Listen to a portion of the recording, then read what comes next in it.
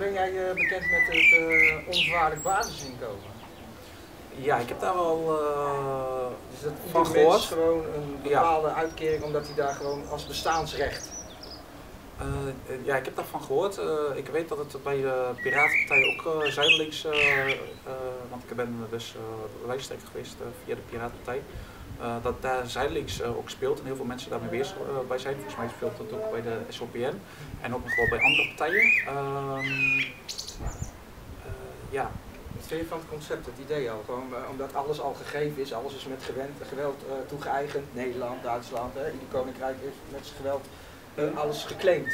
Ja. En, en als, ja, als, als mensje, hè, die dan geboren wordt hier waar alles al gegeven is, ja, dan, dan, dan heb je eigenlijk al niks. Weet je? Of je moet het met geweld ook toe-eigenen. Ja. Ja. Dus dan zeg ik van, nou een onvoorwaardelijk basisinkomen zou dus een start zijn dat iedereen dus, omdat je bestaansrecht hebt, Mm -hmm. uh, dat je ook gewoon rond kan komen. Nou ja, ik vind het idee nog niet, nog niet eens heel verkeerd. Ik vind dat dat in ieder geval onderzocht moet worden. En ik, heb, ik, heb, ik heb wel andere berekeningen gedaan, om, omdat er volgens sommige mensen dus die, die, die populatieagenda zou zijn. Ik heb dus wel berekend, ook voor Nederland en ook voor de hele wereld, toen ik in de gevangenis zat, en ik kan gewoon aan de hand van de atlas en allerlei andere gegevens hoeveel mensen er plaats zou zijn op de, op de wereld. En waarschijnlijk tussen, ergens tussen de 10 en 15 miljard. Uh, er zijn er nu 7 miljard. Uh, moet ik wel zeggen, hoe meer mensen je hebt, hoe minder de plaats is bijvoorbeeld voor een olifant of een tegel. dus er kan in ieder geval onderzoek naar gedaan worden. in Nederland is er voedsel voldoende voor 16 miljoen mensen. Dus, we kunnen in overvloed leven. De ja. schaarse wordt in stand gehouden door de, zeg maar even elite of, of door de grote jongens. Het wordt in stand gehouden schaarse om ons, en net zoals wat je zegt, er zijn genoeg huizen, maar ze zeggen dat er geen huizen zijn.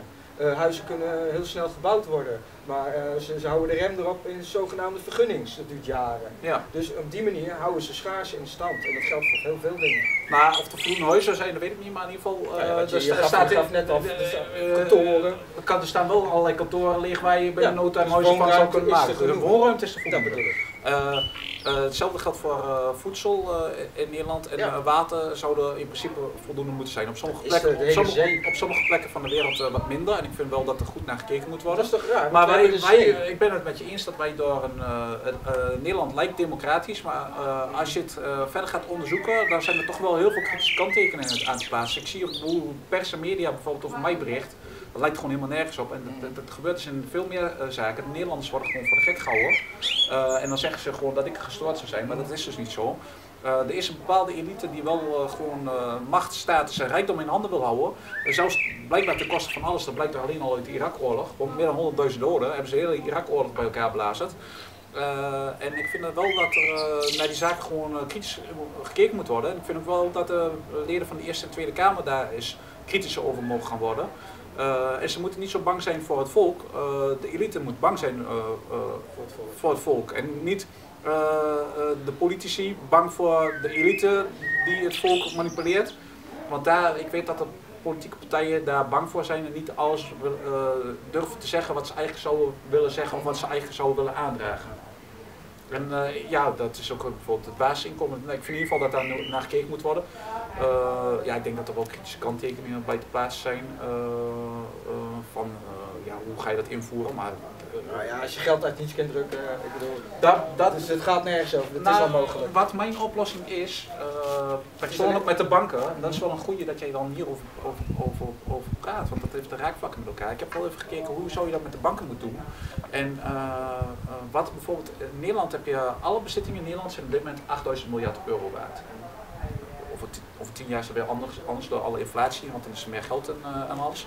Maar op dit moment is alles 8000 miljard waard. En uh, als je dan kijkt wat op de balans staat, nou alle huizen staan erop, alle wegen staan erop, dus zoveel, zoveel en waard, uh, Binnenhof staat erop. Maar een Veluwe of een daar staat er bijvoorbeeld niet op. Alle landbouwgrond staat er wel op, gewaardeerd tegen, tegen geld.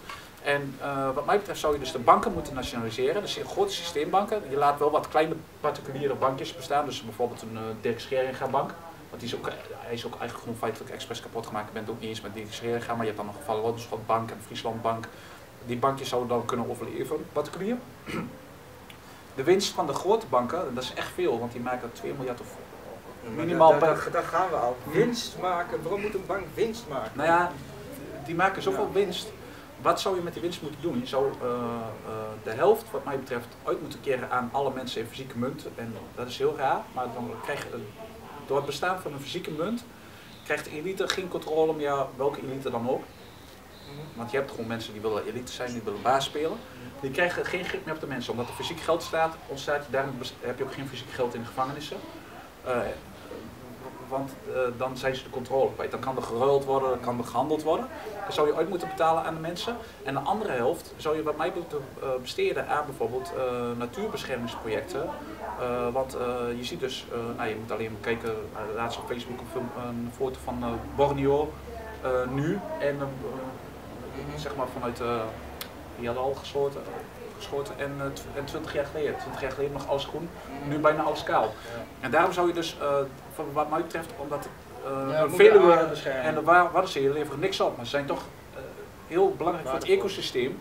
Zou je daar geld moeten besteden aan bescherming of uitbreiding van die projecten? Want die zijn niet volgens het huidige systeem economisch renderend. Terwijl uh, ze, ze, ze, toch uh, kan je belangrijk zijn zoals een, een uh, Amazone of een, al, al, nou ja, al, die gebieden. Zodra, als het geld weer boven de mens staat en boven moeder aarde, dan kunnen we dat inderdaad doen. En nu is het gewoon het geval dat het, het, het, het, geld belangrijker is dan de mens en, en moeder aarde. Ja, maar het, het, het, is nu te regelen. Het is, het is niet zo dat het nu niet te regelen is. De banken kunnen nu, zoals dit jaar genationaliseerd worden, alle, alle 100. Dan kun je dus aan het eind van die, je kunt alle mensen aandeelhouder maken. Dan kun je ze dus fysiek geld geven. En dat is misschien niet veel, is misschien maar 100 euro fysiek wat ze krijgen, maar daar kunnen ze mee handelen. En dan voor de rest nou, kun je ook gewoon alles hetzelfde. En de andere helft van de winst kun je dus uitkeren aan natuurbeschermingsprojecten. Uh, want nu, als je een tijger doodschiet, uh, ja, dan levert hij uh, 400 dollar uh, op voor, voor Indonesië. En als je hem laat leveren, ja, dan is hij alleen maar lastig. Kan je zelfs nog in de, in de, in de rug aanvallen, zeg maar. Ik, ik, ik, ik doe even een simpel voorbeeld. Of een olifant die vrij rondloopt, is voor een Afrikaan op dit moment niks waard. Als je hem doodschiet, zijn neushoorns of zijn horens zijn nou, dat, dat, dat komt weer dus door het geld. Kijk, daarom zeg ik onvoorwaardelijk basisinkomen. Dat geldt niet alleen voor Nederlanders natuurlijk, hè. dat geldt voor iedere mens op aarde in mijn beleving. Dan hoef je die olifant ook niet meer dood te schieten. Ja. Want dan heb je je basisinkomen. Snap je? Dat is, dat is het hele idee erachter. Je hoeft niet meer te stelen, voedsel, mm. want je hebt je basisinkomen. Ja. Uh, dan kan je erbij gaan werken, nou, dan heb je meer geld. Dus dan heb je nog meer leuke dingen. Maar je basisinkomen behoud je. Onvoorwaardelijk. Dat is mijn visie. Ja, ik denk dat dat uh, in, ieder geval, in ieder geval deels uh, te regelen zou moeten zijn. Kijk, voor grote steden wat het... Uh, ik denk dat het wereldwijd kan gewoon. Wat, het, wat je zegt, ze maken geld uit niets. Nou Erwin, ik vond het superleuk hier te hebben. En ja, ik vind het ook geweldig. Dankjewel.